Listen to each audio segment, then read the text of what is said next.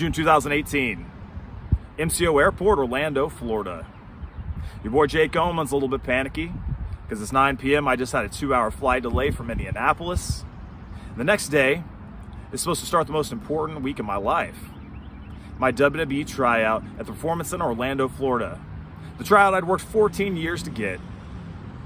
After I grab my bags, I finally meet up with the guy I'm supposed to share a car with.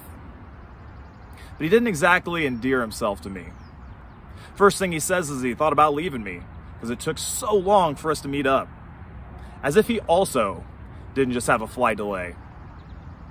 The second thing he tells me as we're getting into the car is this actually his second WWE tryout. In fact, he had one a year or two before, got offered a contract. He turned it down because he was hoping to get drafted in the NFL. He thinks pro wrestling is dumb, but hey, since he didn't get drafted, might as well take that fat paycheck. As we're going to the PC, people are waiting on us. We have physicals that need performed that night. He says, I need some food.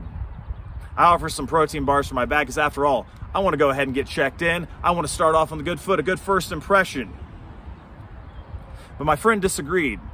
Instead, we go take a detour into a McDonald's drive through where we're stuck for about 20 minutes, wait on his $14 worth of food, his two Big Macs, his large chocolate shake.